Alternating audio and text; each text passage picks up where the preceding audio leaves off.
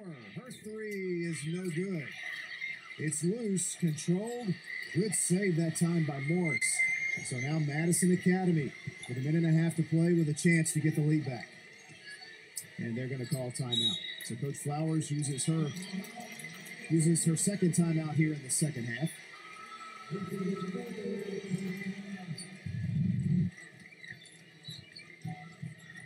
Check out the degree of difficulty on this. Just incredible there by Moore. And Moore put together a sensational game.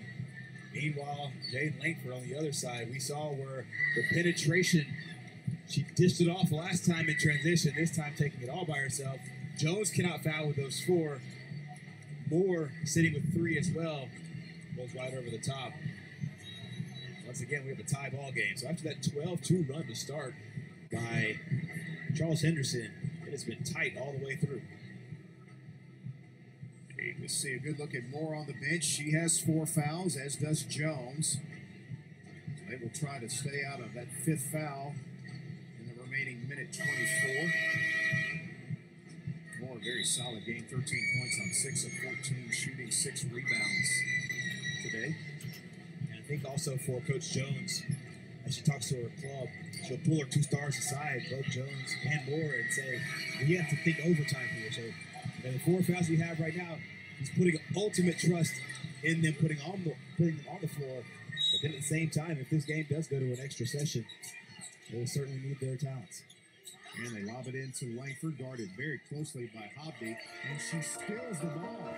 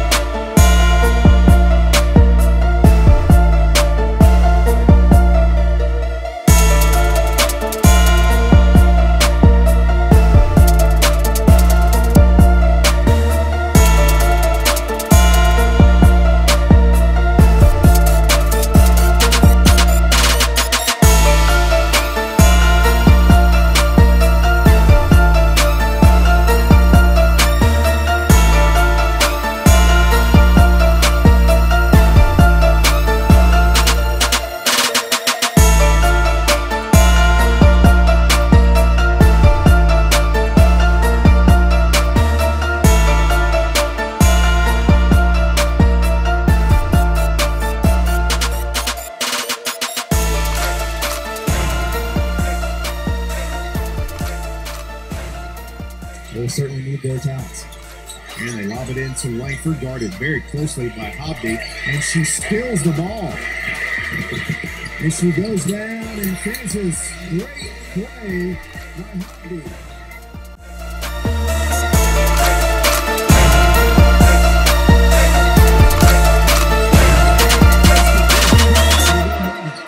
Charles Henderson has completed the perfect season as they knock off Madison Academy 50 to 48 to win the 5A girls state championship.